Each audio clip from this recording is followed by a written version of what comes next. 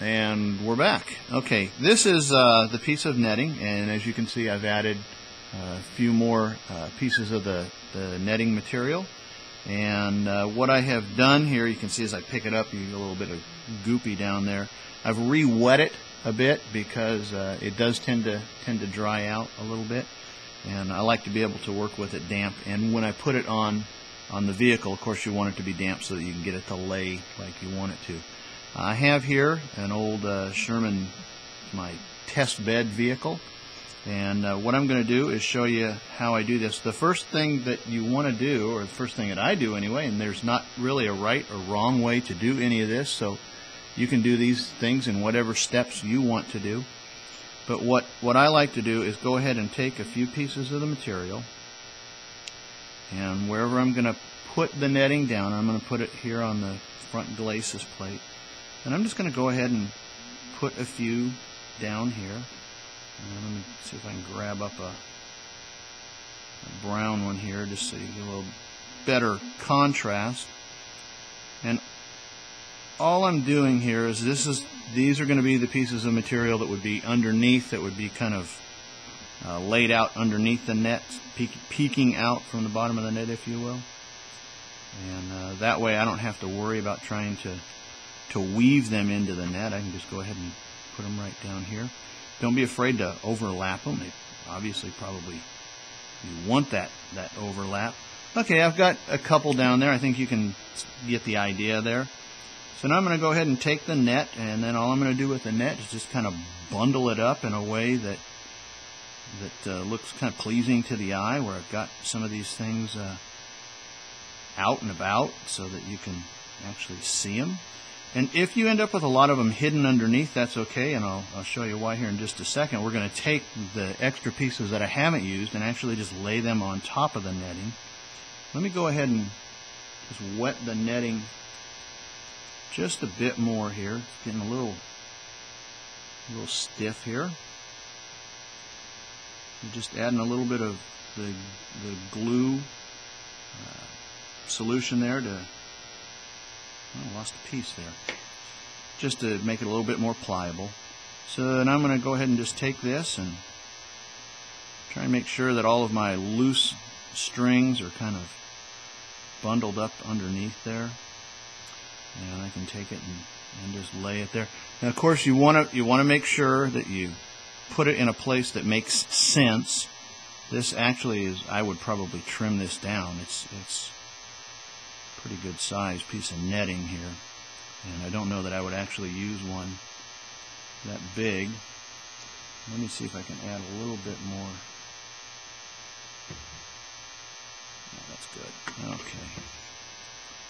And I'm just just wetting this down just so I can get it to kind of lay down a little bit better. And if I've got any loose strands or threads, and what you'll you'll notice here is that you don't see a lot of the uh, netting material. I mean, you don't see a lot of the uh, strapping material that's on the outside of the net. That's okay. And now what I'm going to do is going to take some of these extra pieces here, and I've got more extra pieces left over uh, than I have actually in the net. And then I'm just going to take these and carefully lay them on and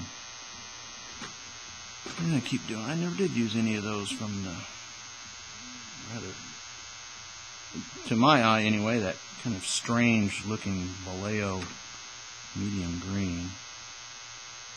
And then just come on down there. And if they want to fight with you you can kind of sometimes you can find a way to use the actual netting to kind of weave them down. Or you can say, well, you know what? You didn't make the cut and toss it off to the side there. Kind of jam it in there there. See if I can grab another one here real quick. But I think you kind of get the idea of what I'm doing here. And then overlap these. so you just want to kind of get throw some extra ones on there. That's what I like these, uh, the shorter pieces that I cut. Oh, that one just does not want to stay down. I can just lay them right over. Pull them up. And they can be just anywhere all over the, the top of this netting. If you want, you can, like I said, kind of open it up a little bit, kind of push that piece down into it. Uh, try and remember, I try and remember, I don't always succeed, but try and remember that gravity always wins in the end. And so try and make more of these kind of dangling down slope than flopped up slope. And if you've got one you don't like where it is, you, they're not that hard to pick up and lay down there. And then when you get it to where it's kind of like it's pleasing to your eye, then you can come back with your glue and water solution and then just take it and kind of I just kind of dab it around there. And when it dries, it'll it'll dry really nice, rock hard, and uh, it should come out it pretty pretty nice for you. It's it's an easy it's an easy thing to do. I didn't do it on the barrel. I know the uh, the British Firefly is often seen with the uh, the netting on the barrel, and I'm gonna pull in here with uh, another one that I've done, and you can you can see this guy. This is the the Firefly, and I've added some some netting there. Don't know what, how well that's coming out there. Try and get that so you can do the white background. And then on the on the rear uh, engine deck, I've added a, another piece of netting there.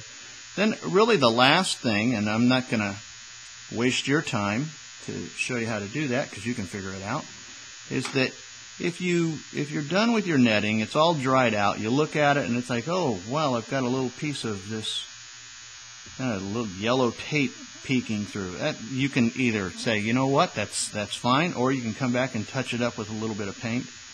I see a few edges that I might want to touch up. If you think that you want to add some different colors uh, in there to the tape once it's dried to just give a little bit of visual variety to it, you can certainly do that, and that's something that I've done uh, quite a bit. Usually, when I'm done with it, I, I always think to myself that, gosh, these it just doesn't look dark enough to me. I need uh, a darker green on on some of the material, and it's easy enough to just come back there and kind of touch it up and and uh, once it's dried.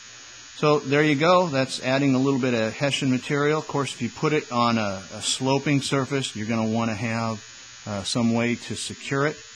Uh, around the barrel here, I don't, I've got some thin, thin uh, tie flying thread that I've used to to tie it on to the uh, the Firefly barrel. But if you do put it on the side of a vehicle or uh, on a sloping glacis plate like what we've got here with this uh, this Sherman, you do want to make sure that uh, you show how it was secured because obviously something like that would just slide right off the vehicle. So so secure it to the um, brush guards or the headlights or you know the towing ring, some something to to show that uh, uh, that it would actually stay on the vehicle once this vehicle started moving. If you're not going to lay it on a on a horizontal surface, or you can take the easy way out, like I did with the the Firefly, and just lay it on a horizontal surface. And that is pretty much it. Uh, if you have any questions, just go ahead and, and uh, add them here at the end, and I will uh, respond to them as soon as I get a chance to. But it's a it's a simple technique. I hope that uh, you give it a try and hope that you have fun with it. All right. Thank you.